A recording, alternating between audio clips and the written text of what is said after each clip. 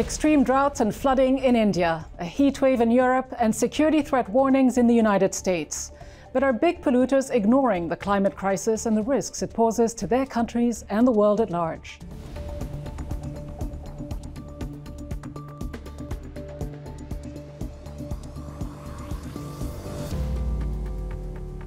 Hello and welcome to Bigger Than Five with me, Rida Fakhri.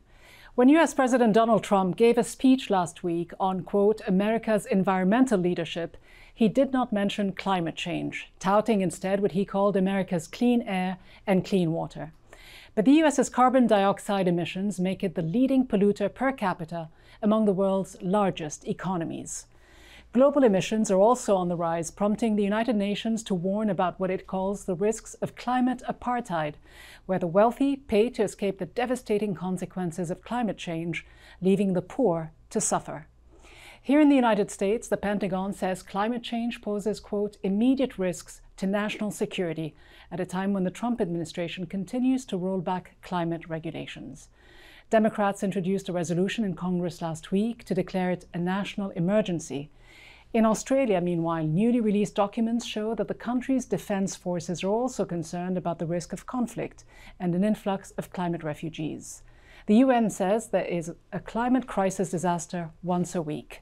One of these crises has hit India's sixth largest city.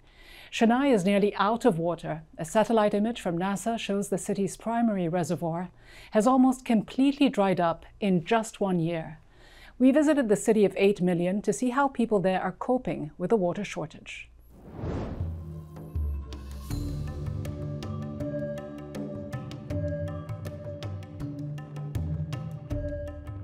எங்களுக்கு வந்து என்னுடைய எனக்கு இருபது இருபது வயசுலேருந்து தண்ணி நிறையா இருபது வயசுலேருந்து நிறைய தண்ணி கிடச்சிது இப்போ எனக்கு நாற்பத்தாறு வயசாகுது நான் ஐம்பத்தாறு வயசாகுது எனக்கு ஐம்பத்தாறு ரொம்ப கஷ்டம் இப்போ தான் தண்ணியில் இவ்வளோ நாளாக நல்ல தண்ணி தான் நல்லா கிடச்சிருந்து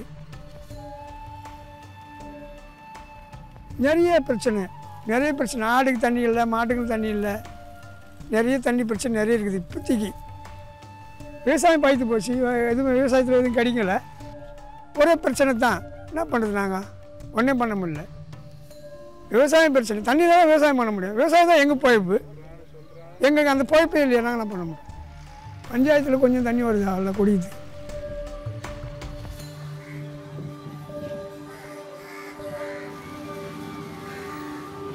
the primary problem over here is not a problem of water crisis, but a problem of people losing their connection with nature.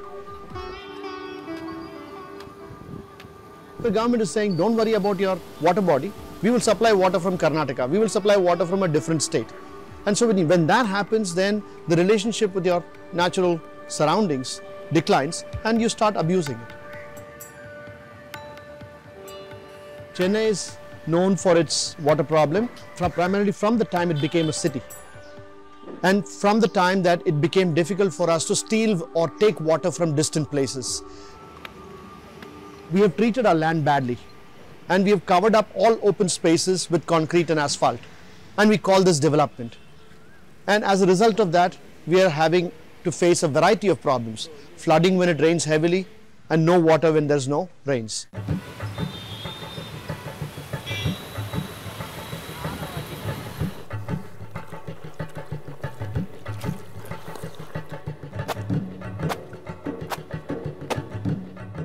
வருஷமும் மழை இல்லை. அதுக்கு முந்தின வருஷமும் மழை இல்லை.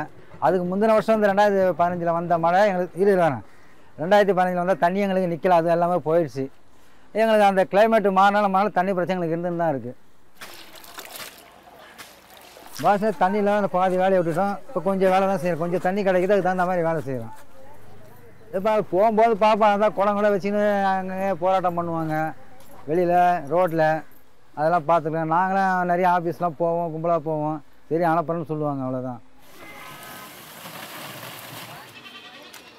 Water crisis causes a conflict in Tamil Nadu virtually every other year. This year, if the monsoons fail, we will see Tamil Nadu and Karnataka, the two, uh, two states that share the water from Kaveri, a major river, that will erupt in conflict. Buses will be burned, there will be fights between uh, the two states of India. I think that the entire disaster can squarely be laid at the doors of the industrialized countries because They have created this climate monster. And this climate monster is preventing us or not giving any options for people in the developing world to experiment with different technologies. There is no time.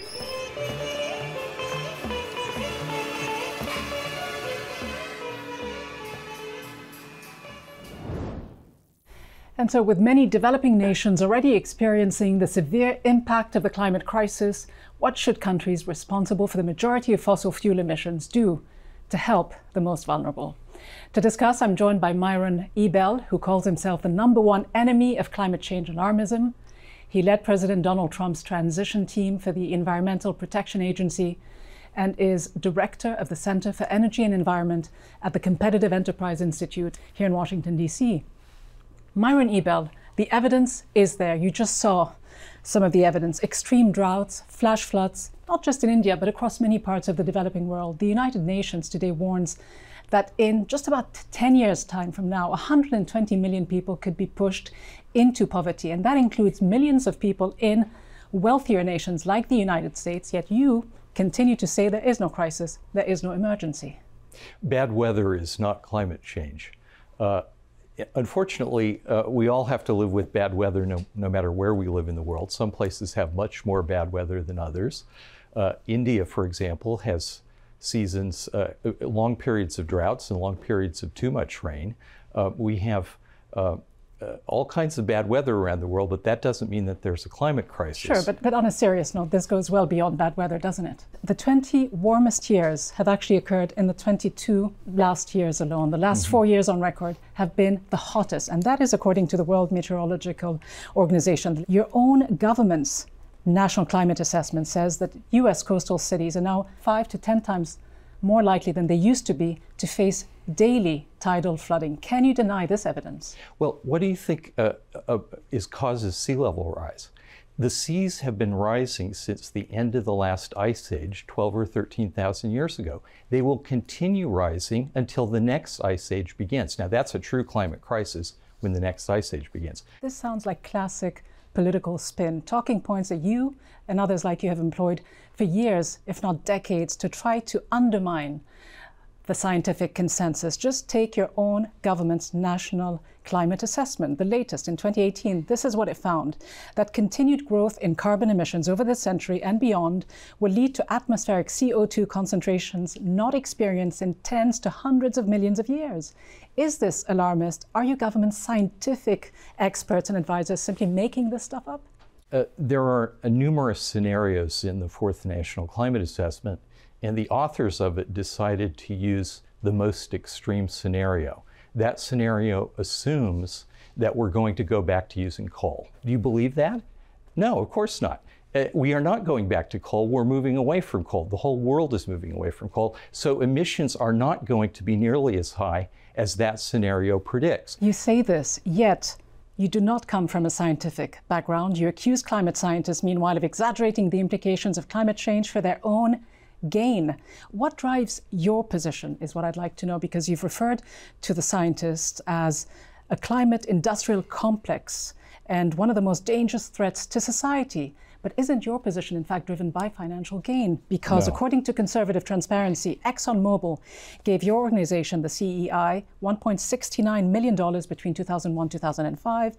And it's well established that one of the organizations that you helped set up actually received more than $11 million in donations over the years from coal and oil companies. And the list of fossil fuel companies, including the leading coal and oil companies in this country, Marathon Petroleum, Murray Energy Corp, have given to your annual gala, including the latest in 2019, mm-hmm. huge sums of money. Well, huge sums of money. Uh, the CEI has an annual budget of $7 million.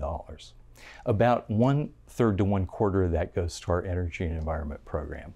Uh, the, the organizations that we're up against, uh, if you just take the top 10, their annual budget is over $1 billion a year. The Sierra Club is over 100 million. The Natural Resources Defense Council is over 100 million. The Worldwide Fund for Nature is over 100 million. Still, but So, this raises see, an important so- so- conflict of interest, doesn't it? no, yes, they have they have a huge No, no, they have a huge position. financial In interest position, in taking pushing so much- alarmism. No, in, in pushing alarmism and taking so much money from leading oil and coal companies. Oh, but, but the major oil companies are now supporting the environmental pressure groups. They're supporting carbon taxes. ExxonMobil is giving more per year than they gave CEI over the entire course of giving money to CEI. They're giving more money per year to lobby for carbon taxes right now. A- and, who's, yet, and no, yet, so what who's, these companies making a no, fortune and off yet, of that? And yet, what these companies are interested in doing is creating doubt over climate science, so that they can continue getting the staggering amounts of uh, subsidies that they get. The IMF just the other day released information Mm. saying that subsidies for coal, oil, and gas in the United States reached 649 billion dollars in 2015. That is That's 10 ridiculous. times That's the amount ridiculous. Congress They they gives no, gives no, that's gives ridiculous. schools for education, and that No, is more than the Pentagon spending for that year. That's ridiculous. That's exactly the fact. That's no, that is not a fact.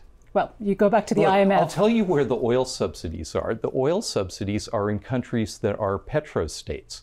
So countries that have a lot of oil, like Saudi Arabia, they subsidize the price of gasoline for their citizens. Uh, that's where the subsidies are.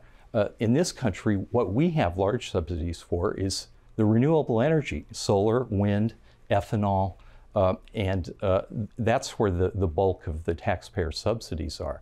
Uh, the IMF, I don't know where you get this IMF from the stuff, IMF. but it's completely these, nutty. These, these it's just totally released, nutty. and this is uh, something that uh, the IMF uh, chief, in fact, just said. She said removing fossil fuel subsidies is the right way to go because these subsidies have cost every person in the U.S. more than two thousand dollars a year. You've also accused climate scientists of peddling their own alarmist political agenda. Hasn't this administration actually pushed its own political purposes by censoring some key bits of information that show the negative impact of climate change? Well, what do you have? Let me give you examples. Example? Yes. It's removed important data from the EPA's website. We know that. It's refused to publicize dozens of government funded studies about the negative effects of climate change. Mm-hmm. And just last week, a State Department analyst was not, a, not allowed to testify to Congress about climate change and its impact by the EPA and had to resign. Uh, well, I've had experience of many administrations, and I think that this administration is doing uh, a much better job of, of giving the science straight than some previous administrations. Every administration tries to discipline its the career professional workforce to make sure that they're on board with the policies of the administration. But I find much less cens- censorship of science in the in the Trump administration than I do, for example, uh, going back to the Clinton administration is a good example. But how can you say that when you yourself pushed for a 31% cut in the EPA budget and getting rid of at least 3,800 employees, saying, let's reduce the regulators? How can you say that this uh, administration has done anything productive on this? Re- regulators are not scientists by and large, and they don't do science, they regulate. The problem with the US economy is we are so overregulated that it is a tremendous drag on economic prosperity, uh, particularly for the poorest people in the country who, who bear the brunt of these. The, of the overregulation that the EPA does. So the only way we're ever going to have less regulation and get out from under the burden of the of the the bureaucratic state is if we have a smaller EPA. And in fact, the EPA has accomplished most of its mission when it was established in 1970 to clean up the air, the land, and the water. We have the cleanest air in the world, we have the cleanest water in the world, and uh, we're finally, under the Trump administration, making some progress in cleaning up toxic waste sites on the land. And, and you have rolled back many of the Obama administration regulations, which would have put a Yes, stop thank to the non-stop drilling that goes on in public lands, which is the opposite of what President Trump and you are just suggesting now about uh, keeping the air clean and the water clean. And as we speak, uh, the president is contemplating making the entire U.S. shore open to oil drilling. How exactly does that make well, uh, make your case? The United States is now, as a result of the shale oil and gas revolution, we are now the world's largest producer of oil and of natural gas. We are the world's energy superpower. This is tremendously good for the United States and it's tremendously good for the world. It's enriching the United States, it's giving us a huge energy price advantage. Manufacturing is flowing back into this country. Working class wages are going up for the first time in 20 years. People are better off because we have abundant, affordable energy in this country. And this is again, and again, we, and again. we are helping reduce the, the power of Russia and the petrostates to, to, to manipulate the world economy. Again, you're deflecting, but again, isn't this a, a, classic example of putting the interests of corporate America first? President Trump recently, quite ironically, in fact, talked about America's environmental leadership, standing right next to two lobbyists. One, a former coal lobbyist who runs the EPA, another, the Interior Secretary, who's a former oil lobbyist. Isn't there more than just a bit of irony here? What bothers me is when, when a president stands next to a bunch of environmental pressure group leaders who want to shut down the economy and impoverish people around the world. We'll have to leave it there. Myron Ebell of the Competitive Enterprise Institute, thank you very much. So, the debate over how to solve the climate crisis can get heated. But the fact is, 2018 was the fourth warmest year on record. If we want to prevent the world from warming more than 1.5 degrees Celsius by 2030, the Intergovernmental Panel on Climate Change says global greenhouse gas emissions would need to fall by 45% from 2010 levels. Katie Fisher has this week's five facts. Despite knowing about climate change, we're still polluting. Greenhouse gas emissions rose 1.7% in 2018. That's 70% higher than the average increase since 2010. China, India, and the United States accounted for 85% of the increase in emissions, while total emissions decreased in Germany, Japan, Mexico, France, and the United Kingdom. Developed nations have been slow to help poorer countries combat climate change. In 2009, rich nations vowed to help mobilize $100 billion annually by 2020 to help developing countries deal with climate change. As of 2016, they were about halfway there. A portion of that funding is intended to go toward the Green Climate Fund, but only half the pledge funds have actually been committed. Sweden would be the biggest investor per capita, and with President Trump's decision to stop payments to the fund, the commitment of the US could drop to just $3 per person. Inequality has grown because of climate change. Between 1961 and 2010, the gap between the rich and poor grew 25% wider than it would have been without climate change. And nature is in trouble. Global populations of vertebrates have declined 60% over 40 years. 1 million plant and animal species are on the verge of extinction. If we don't address climate change, we're in for more trouble. 99% of corals could disappear, 100 million more people could be living in extreme poverty. More than a thousand islands could become uninhabitable. And the cost of inaction is estimated at more than $50 trillion. So, inaction can be costly and potentially deadly. Climate change is considered a threat multiplier on already stressed societies. If the current trends continue, could conflicts become even more likely? I'm joined by Rebecca Carter, Deputy Director of the Climate Resilience Practice at the World Resources Institute, and Francesco Femia, co founder of the Center for Climate and Security here in Washington. Welcome to you both. Rebecca Carter, there are still those who deny the impact of climate change or that it has a potentially strong link with conflict and wars. What does your research tell you? Our research and the research of many other organizations tells us that climate impacts are becoming more and more severe. We're seeing them in more and more places every day. The evidence just keeps getting stronger. Just as an example that ties, I think, quite directly to conflict, um, the world, the Food and Agriculture Organization just released its third report that shows us that for three years in a row, global food security is declining. So there are more hungry people in the world. And they say that climate change is a major reason for that. And I think it's pretty easy to see that hungry people are more likely to engage in conflict. When people are desperate, they're forced into situations where maybe they have to migrate, they have fewer options. So, the scarcity of resources, including the scarcity of water, Francesco Femia, for years we've been hearing that conflicts like those in South Sudan, in Niger, in the Lake Chad region, even Syria, could trace its roots back to to climate change because it came on the heel of the longest period of excessive and extreme drought. How definitive, though, a link is there? Well, first of all, I think it's really important to understand that climate change is, has rarely, if ever, been the primary cause of an armed conflict. And I think that's important to note, not just because I think that's true, but also because you never want to give, you know, sort of, you know, those who are responsible for dealing with their own countries, a particular uh, uh, uh, ruler in power or a regime, um, you don't want to let them off the hook. It's really ultimately their responsibility to manage their resources in a way that uh, uh, helps avoid conflict. Um, but uh, there has been growing evidence over the past few years that there is a, a connection between climate change and conflict uh, in a number of different situations around the world and different countries around the world.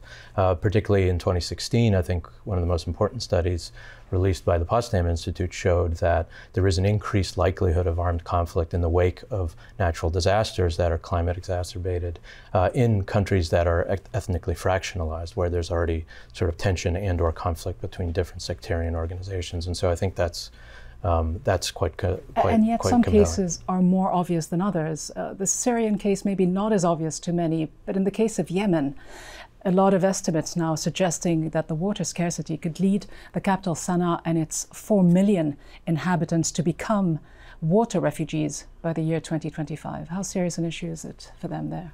I would consider it incredibly serious. I mean, they honestly are about at the end of the road. They have very few options, and it is when people are left without choices, left without good plan Bs, that conflict becomes more likely.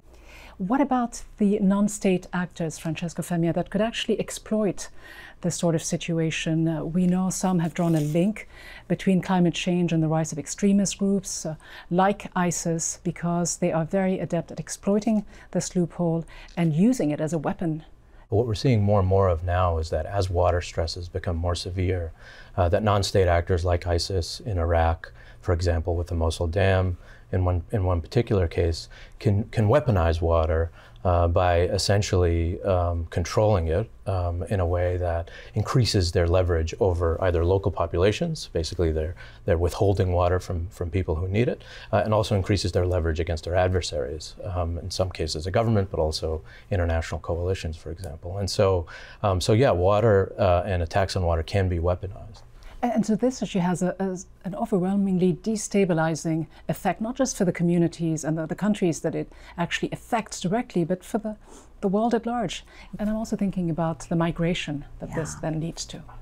There has been research showing that the migrants that are showing up at the US borders from Central America, some of that may be triggered by climate change, where it's farmers who are finding year after year of deepening drought that is beginning more and more to look like not a temporary condition, but the new normal. And they, without support to change their livelihoods, without support to figure out what new crops to grow, you know, new economic activities, they don't have as many choices as they need and they end up migrating. Yeah, and, and, do they have the funding that they need to mitigate the effects of climate change? I do think there needs to be some kind of major effort by industrialized nations uh, to invest uh, in both reducing emissions so that we avoid some of the worst security consequences of climate change, but also in investing in climate resilience, um, including in those places that are most vulnerable uh, to, to conflict and instability. And so, and I think as to your point about is it in, in, in our interest or in the interest of developed countries,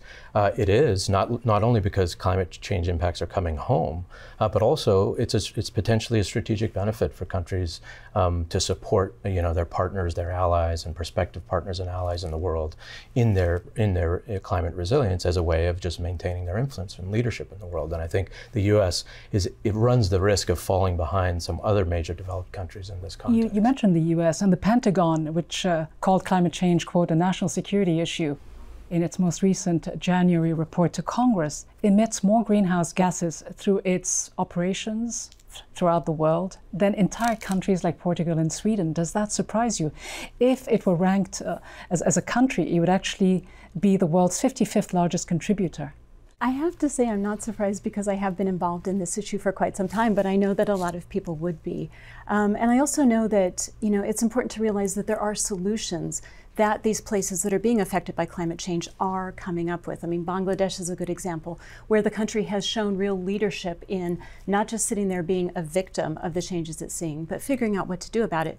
But the funding is an important part of it. Solutions are there, but it will take both increased finance, but also political will to scale up the things that we're learning can work. And so, speaking about solutions, how much political will is it going to take to stop the subsidizing of the fossil fuel industry, which globally runs to the tune of $5.2 trillion a year? Well, I think it'll take extraordinary political will, uh, but it can be done. There's real consensus over the fact that climate change is a security problem that the U.S. has to deal with across partisan lines. So we've seen over the past couple years um, real bipartisan support, and you, rarely hear about this for uh, for provisions, for example, in the National Defense Authorization Act, identifying climate change as a major threat. Uh, yet the is, president doesn't seem to be on board. Well, the president signed this bill in 2018, the National Defense Authorization Act, that says climate change is a threat to national security. Did the president know that that was in the bill. I mean, that's probably uh, questionable, but um, but clearly there's bipartisan support. The president is pushing against that, but I think it's, it's a losing battle, and I think uh, we're going to be seeing more and more attention to this issue and more political will as the years come. Francesco Femia and Rebecca Carter, thank you both very much indeed. Thank you. Thank you. And so, while a climate of denial and neglect still prevails in many of the world's wealthiest nations, for many in the developing world, climate change is not a hoax or a distant danger. The big polluters can continue to ignore the plight of the world's poorest and the destabilizing long term impact of climate induced conflict at their own peril. From me, Rida Fakhri, and all the team here in Washington, thanks for watching.